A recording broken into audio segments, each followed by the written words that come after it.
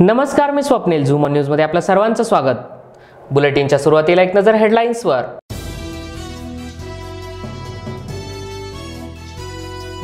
L G B T सेलच्या राज्य प्रमुखपदी प्रिया पाटील यांच्या नावाची जयंत पाटील यांनी केली घोषणा.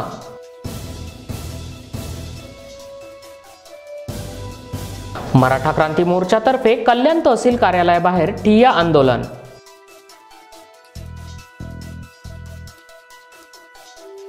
कायदा कळला नाही पण दादागिरी मात्र चालू. महाविकास आघाडीवर चंद्रकांत पाटील भडकले.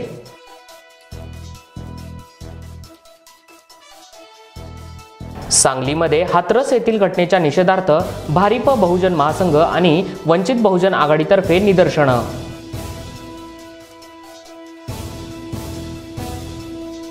हाथरस येथील घटनेच्या निषेधार्थ नवी मुंबई काँग्रेसतर्फे अनोखं आंदोलन.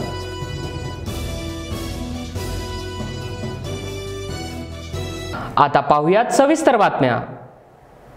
राष्ट्रवादी काँग्रेसनं आज देशातील पहिला L G B T cell स्थापन केलेला असून या सेलच्या अध्यक्षपदी प्रिया पाटील यांची नियुक्ती राष्ट्रवादी काँग्रेसचे प्रदेशाध्यक्ष जयंत पाटील यांनी जाहीर केली. राष्ट्रवादीनं देशामध्ये पहिल्यांदाच युवती संघटनेचा प्रयोग केलेला आहे आणि आता L G B T cell स्थापन करून या वंचित समाजाला न्याय देण्याचा प्रयत्न देखील केलेला आहे असे प्रदेशाध्यक्ष जयंत पाटील यांनी सांगितलं आहे समाजामध्ये एल जी बी टी लोक चौकटीत यायला बघत असतात.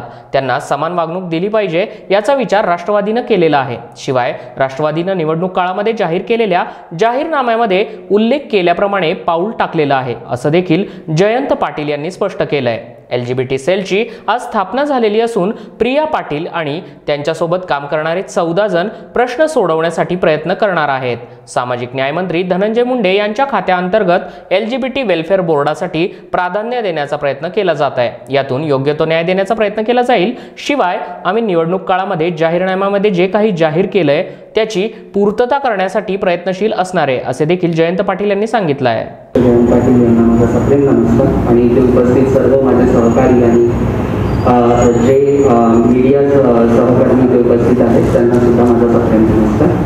टाईम ताईंनी थोडंसं ब्रिफिंग केलेलंच आहे पण अ, थोडं थोडं ब्रिफिंग त्याच्या पुढे मी करते. आपल्याला माहितीच असेल की सहा सप्टेंबर दोन हजार अठरा रोजी थ्री सेवन्टी सेवनला ज्याला समलैंगिकता असणं हे गुन्हा आहे हे सुप्रीम कोर्टाने वर्डिंग दिलं होतं. आणि त्याच्यानंतर होणारे बदल हे आता आपण बघत आहोत. परत दोन हजार चौदा पंधरा एप्रिल दोन हजार चौदाला सुप्रीम कोर्टाने दिलेला नानसा जजमेंट ज्या नानसा जजमेंटमध्ये तृतीयपंथीयांना त्यांची स्वतःची ओळख मिळाली. आणि त्यांना या जगामध्ये या या देशामध्ये सन्मानाने जगण्याचा एक हा अधिकार मिळाला. आणि त्यानंतर तृतीयपंथी आणि एल जी बी टी समुदायाविषयी बोललं जायला लागलं. पहिले याविषयी कोणी चर्चा करायला देखील तयार नव्हतं. आज मी खरं तर खूप आभारी आहे आपल्या प्रदेशाध्यक्षांची आणि खास करून सुप्रिया त्यांची की त्यांच्या इनिशिएटिव्हमुळे आज हा एल जी बी टी नवीन सेल आपण इथे सुरू करत आहोत. एल जी बी टी सेलद्वारे अगर आपण बोलायला गेलो तर जसं मी म्हटलं थ्री सेवन्टी सेवन तर थ्री सेवन्टी सेवन आपण पोस्ट आपण काय करणार आहोत? एल जी बी टीच्या आत्तापर्यंत असलेल्या समस्या.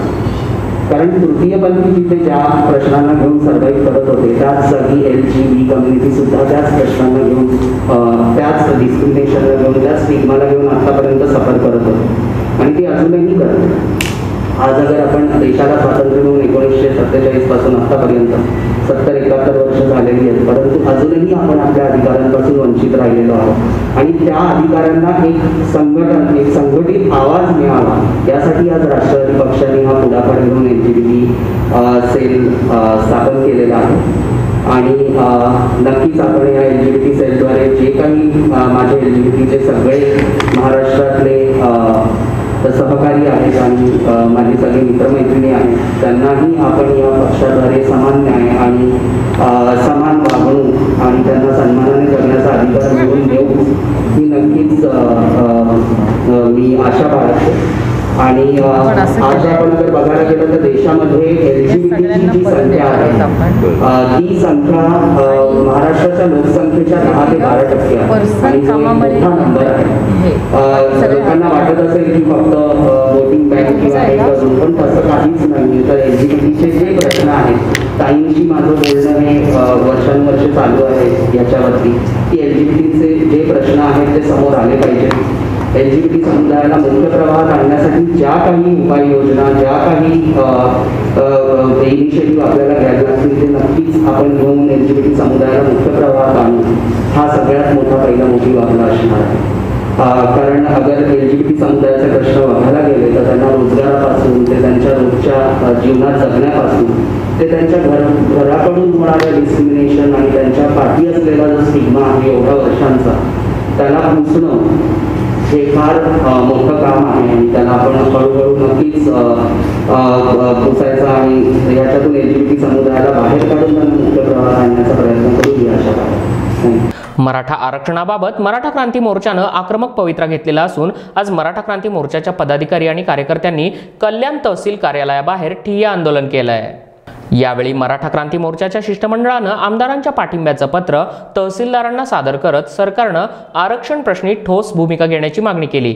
तसेच यावेळी येत्या दहा तारखेला होणाऱ्या आंदोलनामध्ये मराठा क्रांती मोर्चा सहभागी होणार नसल्याचा निर्णय नाशिक येथील बैठकीत झाल्याचं स्पष्ट केलं आहे केंद्र सरकार जेव्हा कायदा करतो तेव्हा त्यांना तो कायदा राष्ट्रपतीकडे सहीसाठी द्यावा लागतो आणि तो कायदा लोकसभा फेटाळू शकते. असा हा केंद्राने लागू केलेला नवीन शेतकरी कायदा महाविकास आघाडीला काही कळला नाही. मग विरोध कसं काय करू शकतात? यांना कायदा कळाला नाही मात्र दादागिरी करत आहेत असा आरोप देखील भाजपचे प्रदेशाध्यक्ष आमदार चंद्रकांत पाटील यांनी केला आहे केंद्र सरकार कायदा करतं त्यावेळेला महाराष्ट्र शासन किंवा कुठल्याही शासनाला ज्यावेळेला इम्प्लिमेंट करायचं असेल त्यावेळेला त्यांना नवीन कायदा करावा लागतो आणि राष्ट्रपतीकडे सहीला पाठवावा राष्ट्रपतीने सही केलेला सुद्धा कायदा लोकसभा फेटाळू शकतो. असा यांनी महाराष्ट्रामध्ये कायदा केला का विधानसभा विधान परिषद विरोध करणारा केला नाही. तर त्यांनी साधा शशिकांत शिंदेच्या अर्जावर बाळासाहेब पाटील यांनी स्थगिती दिली. आणि त्या स्थगितीच्या आधारे कृषी उत्पन्न बाजार समितीने फतवा काढला की आता स्थगिती मिळाली आम्ही बाजारच्या बाहेर विकणाऱ्यांना सेस कलेक्ट करणार. सगळे आहे. जोपर्यंत तुम्ही केंद्राच्या कायद्याला विरोध करणारा महाराष्ट्र विधानसभा विधान परिषद कायदा राज्यपालांची सही राष्ट्रपतींची सही असं झाल्याशिवाय तुम्हाला केंद्रातला कायदा इम्प्लिमेंट करणार नाही म्हणताच येणार नाही. हे सगळं कायदा न मिळता दादागिरी झालेली आहे. आणि म्हणून म्हटलं तसं पणन डिपार्टमेंटने जे परिपत्रक काढलं किंवा केंद्राच्या कायद्याची कठोर अंमलबजावणी करणार. त्याच्या विरुद्ध शशिकांत शिंदेने बाळासाहेब पाटलांकडे पणन मंत्री म्हणून दाद मागितली बाळासाहेब पाटील ऑर्डर दिली ऑर्डरच्या महाराष्ट्रामध्ये कृषी उत्पन्न समितीने फतवा काढला. की मी आता बाजारच्या बाहेर विकणाऱ्यांवर सेस कलेक्ट करणार. हे काय पूर्ण कायदा न हाथरस येथील घटनेच्या निषेधार्थ आज सांगलीमध्ये जिल्हाधिकारी कार्यालयासमोर भारिप बहुजन महासंघ आणि वंचित बहुजन आघाडीतर्फे निदर्शनं करण्यात आली आहेत. यावेळी मोदी सरकार चले जाव अशी घोषणाबाजी भाजप सरकार विरोधात करण्यात आली. तसेच पीडित कुटुंबाला न्याय मिळालाच पाहिजे याकरिता भारिप बहुजन आणि वंचित बहुजन आघाडी प्रसंगी रस्त्यावर देखील उतरेल असा इशारा देखील यावेळी देण्यात आला आहे. हाथरस बलात्कार प्रकरणाचा निषेध व्यक्त करण्यासाठी नवी मुंबई काँग्रेसतर्फे अनोखं आंदोलन करण्यात आलेलं आहे. या आंदोलनामध्ये महिलांसह ज्येष्ठ नागरिकांनी देखील सहभाग घेत काळ्या फिती बांधून हे आंदोलन केलंय. एकूणच हाथरस बलात्कार प्रकरणानंतर काँग्रेसचे कार्यकर्ते आक्रमक झालेले असून पीडितेला लवकरात लवकर न्याय मिळावा अशी मागणी आता जोर धरत आहे. सर्वोच्च न्यायालयानं मराठा आरक्षणाला स्थगिती दिल्यामुळं मराठा समाजामध्ये प्रचंड अस्वस्थता निर्माण झाली आहे. अशा परिस्थितीत राज्य सरकारनं तातडीनं पावले उचलून सर्वोच्च न्यायालयामधील स्थगिती उठवण्यासाठी प्रयत्न करावेत. तसेच आरक्षणासह इतर मागण्यांसाठी मराठा क्रांती मोर्चाच्या वतीनं चाळीसगाव तहसील कार्यालयासमोर धरणं आंदोलन करण्यात आलं. या प्रसंगी तहसीलदारांना मागण्यांचं निवेदनही देण्यात आलं आहे सर्वोच्च न्यायालयानं नऊ सप्टेंबर दोन हजार वीस रोजी मराठा आरक्षणाच्या अंमलबजावणीला स्थगिती दिल्यानं मराठा समाजात प्रचंड अस्वस्थता निर्माण झाली आहे. अशा परिस्थितीत राज्य सरकारनं तातडीनं पावले उचलून त्वरित मराठा समाजाला योग्य तो न्याय देण्याची मागणी केलेली आहे. त्यामध्ये प्रामुख्यानं एस ई बी सी प्रवर्गामधून शैक्षणिक प्रवेशासाठी अर्ज केलेल्या मराठा विद्यार्थ्यांची हानी टाळण्यासाठी राज्य सरकारनं आपल्या नियंत्रणाखालील व्यावसायिक आणि बिगर व्यावसायिक अभ्यासक्रमांमध्ये बारा टक्के अतिरिक्त जागा मराठा विद्यार्थ्यांसाठी वाढवाव्यात. तर मराठा आरक्षणात स्थगिती असंपर्यंत पोलीस भरती आणि इतर कोणतीही नोकर भरती करण्यात येऊ नये. मराठा आरक्षणावरील स्थगिती उठवल्याशिवाय एम पी एस सीच्या परीक्षा घेऊ नये. याबरोबरच अकरा ऑक्टोबर दोन हजार वीस रोजी आणि नजीकच्या काळामध्ये होत असलेल्या एम पी एस सीची परीक्षा पुढे ढकलण्यात याव्यात. तसेच केंद्र सरकारनं मराठा आरक्षणास संरक्षण देण्यासाठी संसदेत स्वतंत्र कायदा करावा. मराठा समाजास ईडब्ल्यू एस आरक्षणामध्ये नव्हे तर हक्काचं स्वतंत्र आरक्षण दिलं पाहिजे. मराठा समाजाच्या आरक्षणाला पद्धतशीरपणे डावललं आहे. इतिहास आठ सत्तेचाळीस लोकांनी आत्मबलिदान करून तरी या सरकारचे डोळे काही उघडत नाही उघड आणि आता हे जे धरणे आंदोलन कर शेवटचं हे धरणे आंदोलन आहे आणि यापुढे की रस्त्यावर अति उद्रेकपणाने हे आंदोलनं होतील एवढंच आम्ही सरकारला सांगू इच्छितो. जय हिंद जय महाराष्ट्र. धरणे आंदोलन आहे चाळीसगाव तहसील समोर हे मराठा समाजाला आरक्षण मिळावं या मागणीकरता आहे. मला या माध्यमातून केंद्र सरकार आणि राज्य सरकार दोघं सरकारांना सांगायचं आहे की आतापर्यंत मराठा समाजाने अत्यंत शांततेच्या मार्गाने इतिहास घडवणारे मोर्चे काढलेत जगाने दखल घेतली अशा ऐतिहासिक आंदोलनं झालीत. परंतु आता मराठा समाजाचा संयम सुटत चाललेला आहे आणि म्हणून आता हे शेवटचं धरणे आंदोलन आहे शांततेच्या मार्गाने. जर या सरकारने लवकरात लवकर मराठा समाजाला आरक्षण दिलं नाही तर येणाऱ्या काळामध्ये मराठा समाज असे उग्र आंदोलने करेल की या सरकारला सोळखी पळ करून टाकेल. आणि त्या उद- उग्र आंदोलनाचा सुद्धा इतिहास मराठा समाज घडवल्याशिवाय राहणार नाही. म्हणून सरकारने तात्काळ दखल घ्यावी आणि मराठा समाजाला आरक्षण द्यावं. मराठा समाजाचा जो तरुण दिशाहीन होत चाललेला आहे त्याला जर सावरायचं असेल तर या सरकारने लवकरात लवकर आरक्षण द्यावं. अन्यथा परिणाम भोगायला तयार राहावं. एवढं बोलतो आणि थांबतो. जय जय महाराष्ट्र. अभिनेता सुशांत सिंग राजपूतच्या आत्महत्येनंतर महाराष्ट्रात राजकीय गदारोळ वाढला होता. बिहारच्या निवडणुकीसाठीही हे प्रकरण मुद्दा बनत चाललं होतं. अशातच बिहारचे डीजीपी गुप्तेश्वर पांडे यांनी सुशांत सिंग आत्महत्येप्रकरणी मुंबई पोलिसांवर टीकेची झोड उठवली होती. मात्र यानंतर आता दिल्लीतील एम्स रुग्णालयामधील अहवालानुसार अभिनेता सुशांत सिंग राजपूतनं आत्महत्या केली आहे हे स्पष्ट झालंय. त्यामुळं शिवसेना आमदार प्रताप सरनाईक यांनी या विषयावर भाष्य करताना गुप्तेश्वर पांडेंचा उघडेश्वर पांडे झालाय अशा शब्दात समाचार घेतला आहे सुशांतच्या मृत्यूनंतर मुंबई पोलिसांवर अविश्वास दाखवून सीबीआयने ती केस आपल्या हातात घेतली. कोपर इस्पितळामध्ये जो विसेरा होता आणि जो त्याचा अहवाल होता तो अहवाल एम्स या शासकीय रुग्णालयामध्ये दिल्लीमध्ये पाठवण्यात आला. आणि सुधीर गुप्ता नावाच्या दिल्लीच्या एम्स हॉस्पिटलच्या डॉक्टरांनी तो अहवाल प्रसिद्ध केला आणि त्यामध्ये स्पष्टपणे म्हटलं गेलेलं आहे की सुशांतचा मृत्यू ही आत्महत्याचा आहे हत्या नाही. त्यामुळे सुशांतच्या मृत्यूनंतर मुंबई पोलिसांवर अविश्वास दाखवणारी मंडळी महाराष्ट्र पोलिसांवर अविश्वास दाखवणारी मंडळी महाविकास आघाडी आणि प्रामुख्याने शिवसेनेवर कुरघोडी करणारी मंडळी जी आता ही देशाचं नेतृत्व करते त्यांना आता कळलं असेल की कशा प्रकारे त्या त्या वेळेस आपण महाराष्ट्राची संस्कृती महाराष्ट्राच्या अस्मितेवर घाला घातलाय. मला ह्या एम्सच्या रिपोर्टच्या माध्यमातून एकच सांगायचं की ह्या महाराष्ट्राच्या निर्मितीसाठी एकशे सहा हुतात्म्यांनी आपल्या प्राणाची आहुती दिली बलिदान दिलं. हे कोरोनाच्या कार्यकाळामध्ये मुंबईचे जे पोलीस आहेत महाराष्ट्राचे पोलीस आहेत अहोरात्र झटत आहेत कित्येक पोलिसांचे बळी गेलेले आहेत. सव्वीस अकराचा हल्ला ह्या पोलिसांनी स्वतःच्या छाताडावर झेलला आणि ह्या महाराष्ट्राला ह्या मुंबईला ह्या देशाला वाचवलं. त्या पोलिसांवर आपण अन्याय करताय त्यांचा अपमान आपण केलेला आहे. हुतात्मा चौकात येऊन आपल्याला माफी मागायला हवी. तुम्ही शिवसेनेवर ह- हल्ला करताय परंतु शिवसेनेची संस्कृती शिवसेनेच्या स- प- संस्कृतीबद्दल आपल्याला जर काही बोलायचं असेल तर राजकीय भाषेमध्ये बोलायचं. त्या प्रकारे शिवसेनेचा आणि प्रामुख्याने ठाकरे परिवारावर हल्ला करण्याचा नैतिक अधिकार आपल्याला नाहीये. गुप्तेश्वर पांडे नावाच्या त्या पोलीस अधिकाऱ्यानं स्वतःच्या वैयक्तिक राजकीय स्वार्थासाठी महाराष्ट्र पोलिसांवर आणि महाराष्ट्रातील आघाडी सरकारवर आरोप केलाय तोच त्या बिहारच्या निवडणुकीमध्ये आता राजकीय जनता दलाचा उमेदवार आहे त्यांनी प्रवेश केलेला आपल्या खाकीवर्दीचा राजीनामा देऊन त्यांनी सुद्धा महाराष्ट्र पोलिसांवर अन्याय केलाय. जे सुशांतचे कुटुंबीय आहेत त्या कुटुंबियांना हाताशी धरून भारतीय जनता पक्षाच्या मोठ्या नेत्यांनी काय काय आमच्यावर आरोप केले? परंतु आता सगळे उडघडे पडले तोंडघशी पडले गुप्तेश्वर पांडेंचे उघडेश्वर पांडे झाले. यापुढे ह्या महाराष्ट्राच्या अस्मितेच्या आडील या मराठी माणसाच्या गुन्हे आडेल तर शिवसेना कदापि सोडणार नाही हे ध्यानात ठेवा. यापुढे शिवसेनेवर आणि ह्या महाराष्ट्रावर आरोप करताना आधी स्वतःच्या प्रतिमेकडे आपण बघा आणि नंतरच आमच्यावर आरोप करा असं स्पष्ट मत ह्या आजच्या एम्सच्या अहवालाच्या माध्यमातून मी व्यक्त करीत आहे. राम कदम हे चांगले प्रवक्ते आहेत चांगले प्रवचनकार आहेत चांगलं प्रवचन ते देतात परंतु राम कदमना सुद्धा त्यांनी एकटं पाडलेलं आहे. कोण येत्या भारतीय जनता पक्षाचे नेते? जी कंगनाच्या प्रकरणामध्ये सगळे नेते तुटून पडले होते ह्या सुशांतच्या मृत्यूनंतर सगळे नेते महाराष्ट्र सरकारवर तुटून पडले होते. त्यांनी आजच्या परिस्थितीमध्ये राम कदमला एकटं पाडलेलं आहे हे सुद्धा राम कदमने ध्यानात ठेवावं. त्याच्या मृत्यूबद्दल अजूनही फार दुःख आहे एक चांगला चित्रपट क्षेत्रातील तारका आपल्यातून निघून गेलेला आहे. परंतु सीबीआयनं हे सगळं त्याचं जे जीवनमान होतं किंवा त्याच्या जीवनातील जे प्रस सगळे प्रसंग होते ते लोकांच्या समोर आणले असल्याकारणानं त्याची प्रतिमा जी पूर्वीची होती ती आता राहिलेली नाही. परंतु निश्चितपणे एम्सच्या अहवालामुळे आता हे सिद्ध झालेलं आहे की मुंबईचे पोलीस जो तपास करत होते तो अतिशय योग्य होता.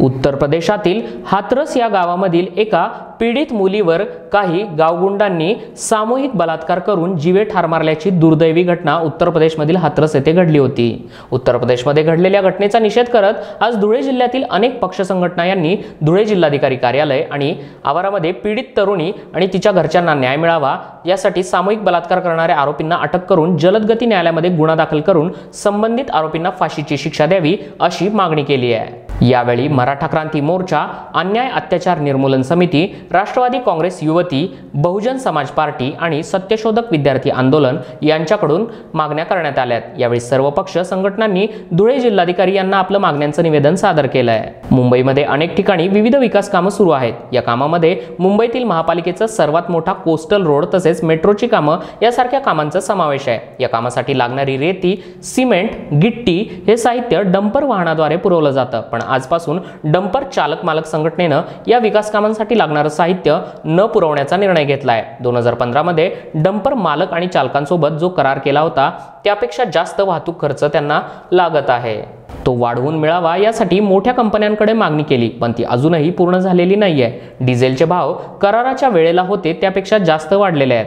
तसेच चालक क्लीनर यांचे पगार देखील वाढवावे लागल्यानं डंपर चालक मालकांना आर्थिकदृष्ट्या हे परवडत नाही. म्हणून आजपासून वाहतूक बंद करण्याचा निर्णय या संघटनेनं घेतलेला आहे. आज या संघटनेच्या सदस्यांनी मानखुर्द या ठिकाणी जमा होऊन आपल्या मागण्या मान्य करण्यासाठी आंदोलन सुरू केलं. उत्तर प्रदेशमध्ये अनुसूचित जमातीमधील युवतीची बलात्कार करून हत्या करण्यात आली. या घटनेनं संपूर्ण देश हादरून गेलाय. उत्तर प्रदेशमधील योगी आदित्यनाथ सरकारनं हाथरस घटनेबद्दल जरी सीबीआय चौकशीची घोषणा केली असली तरी सीबीआय स्वतंत्र यंत्रणा राहिली नाही. ती सत्ताधारी सरकारचे हातचे बाहुली बनलेली आहे. त्यामुळं पीडित कुटुंबाच्या मागणीप्रमाणे सर्वोच्च न्यायालयाच्या न्यायाधीशांच्या अखत्यारीमध्ये ही चौकशी झाली पाहिजे आणि या घटनेमध्ये जी लोक अडकलेली आहेत त्यांना फाशीची शिक्षा द्यावी अशा मागणीचं निवेदन आज वंचित बहुजन आघाडीच्या वतीनं जिल्हाधिकाऱ्यांना देण्यात आलं आहे. देश आज कठीण परिस्थितीमध्ये जात आहे. कोरोनासारख्या महाभयंकर आजाराने त्रस्त असलेली वंचित समूहातील जनतेला घटनात्मक तरतूद असताना देखील जीवन जगण्याच्या हक्कासाठी झगडावं लागत आहे वंचित लोकांना सुविधा मिळाव्यात महिलांवरील अत्याचाराविरुद्ध कडक कायदा करावा तसेच उत्तर प्रदेशमध्ये घडलेली घटना शर्मेनं मान खाली करणारी आहे. कारण त्या मागासवर्गीय मुलीवर अत्याचार झाला तरी आरोपी मात्र मोकाट असताना योगी आदित्यनाथ सरकार कोणाला संरक्षण देत आहे? या कृतीचा आम्ही निषेध करतो आणि या घटनेची न्यायालयीन चौकशी होऊन आरोपींना फाशीवर लटकवावं अशी मागणी वंचित बहुजन आघाडीच्या वतीनं आज करण्यात आली आहे. अदानी इलेक्ट्रॉनिक सिटी व्यवस्थापनाकडून कामगारांच्या मागण्यांना वाटाण्याच्या अक्षता लावल्या जात आहेत. असा आरोप करीत वीज कामगार आक्रमक झालेले असून त्यांनी अदानी इलेक्ट्रिसिटी विरोधात आजपासून वांद्रे कुर्ला संकुल येथे कामगार आयुक्त कार्यालयासमोर इलेक्ट्रिक वर्कर्स युनियनच्या वतीनं धरणं आंदोलन करण्यात येत आहे. इलेक्ट्रिसिटीमध्ये सात ते आठ हजार नियमित आणि कंत्राटी कामगार कार्यरत आहे. वेतनवाढीबरोबरच विविध मागण्यांसाठी आज हे आंदोलन करण्यात येत आहे. बघा हे आंदोलन आहे. ते अदानी इलेक्ट्रिसिटी या मुंबई उपनगर वीज कंपनीतल्या कामगारांच्या प्रलंबित प्रश्नावर आहे. लॉकडाऊनमुळे अनेक प्रश्न निर्माण झालेले आहेत. आणि यासाठी कामगार आयुक्त कार्यालयाला साकडं घालण्यासाठी हे आंदोलन चार दिवस धरणं आंदोलन चालणार आहे. आणि चार दिवसानंतर आठ ऑक्टोबर दोन हजार वीसच्या मध्यरात्रीपासून बेमुदत संपावर जाणार आहेत कामगार. त्यामुळं उपनगर वीज कंपनीच्या वीज ग्राहकांना बऱ्याच समस्या निर्माण होणार आहेत. याला कारणीभूत अदानी इलेक्ट्रिसिटी मुंबई कंपनी व्यवस्थापन आहे. देवेंद्र फडणवीस यांच्या काळामध्ये देण्यात आलेल्या मराठा समाजाच्या आरक्षणाबाबत सध्याच्या सरकारनं योग्य ती कायदेशीर आणि प्रशासकीय प्रक्रिया पूर्ण केलेली नाही आहे. त्यामुळं उच्च न्यायालयामध्ये अडचणी निर्माण झाल्या आणि महाविकास आघाडी सरकारच्या दुर्लक्षामुळेच हलगर्जीपणामुळेच मराठा धनगर आणि इतर समाजांचं आरक्षण रेंगाळल्याचा आरोप हर्षवर्धन पाटील यांनी केला आहे हर्षवर्धन पाटील हे बारामतीमध्ये एका कार्यक्रमानिमित्त आले होते. यावेळी त्यांनी पत्रकारांशी बोलताना असं सांगितलं आहे महाराष्ट्रामधलं जे सरकार आहे या सरकारच्या हलगर्जीपणामुळे म्हणा मराठा समाजाचं आरक्षण धनगर समाजाचं आरक्षण इतर पण समाजाची काय आरक्षण आहे? जी देवेंद्र फडणवीस साहेब मुख्यमंत्री असताना जी दिली होती त्या संदर्भात योग्य ती कायदेशीर आणि प्रशासकीय खबरदारी न घेतल्यामुळं उच्च न्यायालयामध्ये या संदर्भातल्या अडचणी निर्माण झालेल्या आणि मला असं वाटतं ह्याला राज्य सरकार जबाबदार आहे. खरं म्हणजे आता त्यांनी ताबडतोब नवीन अध्यादेश काढावा नवीन याचिका दाखल करून सुप्रीम कोर्टाला कोर्टातून स्टे घ्यावा. आणि प्रत्येक समाजामध्ये उपेक्षित वर्ग आहे गरीब वर्ग आहे त्याला संरक्षण मिळावं नोकरीसाठी आणि शिक्षणासाठी. त्यासाठी हे काम व्हावं असं आमचं भाजपचे आमदार गणेश नाईक यांनी आज नवी मुंबई महापालिकेमध्ये आयुक्त अभिजित बांगर यांच्या समवेत शहरातील प्रश्नांसंबंधी आढावा बैठक घेतली. यामध्ये त्यांनी बारवी धरणाच्या पन्नास एम एल डी कोटा अबाधित ठेवला जावा तसेच पाणीपुरवठा पुरेसा करावा अन्यथा पक्षाच्या माध्यमातून मोर्चा काढला जाईल अशा इशारा यावेळी गणेश नाईक यांनी दिला आहे. वाशी येथील महानगरपालिका रुग्णालय हे कोविड रुग्णालय म्हणून जाहीर केल्यापासून सर्वसामान्य रुग्णांना त्रासाला सामोरं जावं लागत होतं. तसेच खासगी दवाखाने देखील डॉक्टरांनी बंद केले होते. यामुळे वाशीमधील पालिका रुग्णालय कोविड मुक्त करावं ही मागणी गेल्या कित्येक महिन्यांपासून आमदार गणेश नाईक करत होते. सद्यस्थितीमध्ये वाशी रुग्णालयाची कोविड मुक्त रुग्णालयाकडे वाटचाल सुरू असून सध्या एक ते दोन कोविड रुग्ण या रुग्णालयामध्ये उपचार घेत आहेत असं नाईक यांनी सांगितलंय. हे रुग्ण बरे होऊन घरी गेले की कोविडचे रुग्ण घेणे बंद होईल आणि वाशी रुग्णालय कोविडमुक्त होईल असं नाईक यांनी सांगितलं. फॉर्टिस या खासगी रुग्णालयामध्ये गेल्या सहा महिन्यांपासून पालिकेचा कोटा बंद झाला आहे हा कोटा गोरगरीब सर्वसामान्य रुग्णांसाठी वापरण्यात यावा अशी विनंती आयुक्त अभिजित बांगर यांनी नाईक यांना केली. बारवी धरणाच्या माध्यमातून एम आय डी सीला पाणी पुरवठा व्हावा या उद्देशानं बांधलं गेलेलं होतं. धरणाची उंची वाढवल्यानंतर ते पाणी कल्याण डोंबिवली उल्हासनगर नवी मुंबई या शहरांना दिलं गेलं. नवी मुंबईचा पन्नास एम एल डी कोटा अबाधित ठेवला जावा अशी मागणी देखील नाईक यांनी केली आहे. याप्रमाणे गणेश नाईक यांनी आज आपल्या कार्यकर्त्यांसमवेत नवी मुंबई आयुक्त अभिजित बांगर यांची भेट घेऊन शहरातील विविध प्रश्नांसंबंधी चर्चा केली आहे. एम्समधील डॉक्टरांच्या पॅनलनं देखील सुशांत सिंग राजपूतची हत्या नसून आत्महत्या असल्याचा अहवाल सीबीआयला सोपवला. कूपर हॉस्पिटल फॉरेन्सिक एक्सपर्ट आणि आमच्या तपासातही आत्महत्या असल्याचं म्हटलं होतं. आता एम्स डॉक्टरांच्या पॅनलनं देखील तसाच अहवाल दिल्यानं आम्हाला आश्चर्य वाटत नाहीये. सत्य कायमच समोर येतं असं आयुक्त परमवीर सिंग यांनी सांगितलंय. स्वार्थासाठी काहींनी आमचा तपास आणि मुंबई पोलिसांची प्रतिमा मलिन करण्याचे विविध प्रयत्न केलेले होते. आम्हाला आमच्या तपासावर विश्वास होता सत्यावर विश्वास होता. सत्य समोर येतच असं देखील ते म्हणाले. सोशल मीडियावर बनावट अकाउंट तयार करून मुंबई पोलिसांची बदनामी करण्यात आली. त्या अकाउंटची चौकशी सुरू असल्याचं पोलीस आयुक्तांनी सांगितलं आहे पुणे शहरामध्ये दर दिवशी अधिकाधिक कोरोना रुग्णांची भर पडत आहे. अशातच रेमडेसिवीर हे उपचारासाठी महत्त्वाचं औषध असल्याचं त्याची उपलब्धता सुरळीत होणं अपेक्षित आहे. पण पुणे शहरामध्ये या औषधाचा तुटवडा भासत असून यामुळे गरीब रुग्णांचे अतोनात हाल होत आहेत हे औषध उपलब्ध करून देण्यात यावं आणि काळा बाजार थांबवावा. अन्यथा भारतीय जनता युवा मोर्चा तीव्र स्वरूपामध्ये आंदोलन करेन असा इशारा देत भाजप युवा मोर्चाच्या वतीनं अन्न आणि औषध प्रशासनाच्या कार्यालयाबाहेर निदर्शनं करण्यात आलेली आहेत. रेमडेसिवीर या औषधाचा पुरवठा चार कंपन्या करतात. त्यामध्ये कॅडेलाची किंमत दोन हजार आठशे रुपये सिप्लाची किंमत चार हजार रुपये आणि ज्युबिलेटची किंमत चार हजार सातशे रुपये. हेट्रोची किंमत पाच हजार चारशे रुपये अशी आहे. पण या संकट काळामध्ये एक समान किंमत सर्वसामान्यांना परवडेल अशी माफक किंमत होणं अपेक्षित आहे. पण असं न होता गोरगरीब रुग्णांची मात्र लूट सुरू आहे. एकीकडे शहरामध्ये औषधाचा तुटवडा आहे असं म्हटलं जातंय तर दुसरीकडे रुग्णांना रेमडेसिवीर औषध उपलब्ध होताना दिसत नाहीये. शहरात मोठ्या प्रमाणात या औषधांचा काळा बाजार सुरू असून तो रोखला पाहिजे आणि रुग्णांना परवडेल अशा किमतीमध्ये उपलब्ध करून दिलं पाहिजे. अन्यथा यापुढे तीव्र आंदोलन करू असा इशारा भाजप युवा मोर्चा शहराध्यक्ष राघवेंद्र मांडकर यांनी दिला आहे बुलेटिनच्या शेवटी पुन्हा एकदा एक नजर हेडलाईन्सवर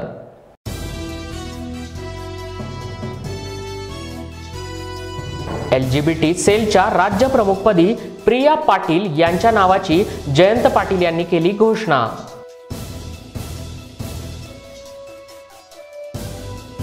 मराठा क्रांती मोर्चातर्फे कल्याण तहसील कार्यालयाबाहेर ठिय्या आंदोलन.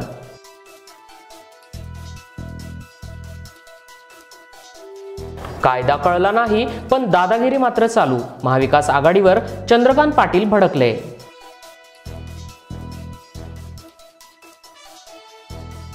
सांगलीमध्ये हाथरस येथील घटनेच्या निषेधार्थ भारिप बहुजन महासंघ आणि वंचित बहुजन आघाडीतर्फे निदर्शनं.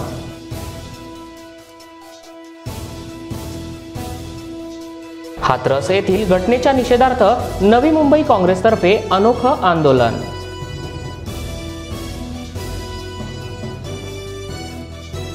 या होत्या दिवसभराच्या सविस्तर बातम्या. पुन्हा भेटूया पुढील बातमीपत्रात. तोपर्यंत पाहत राहा झूम ऑन न्यूज.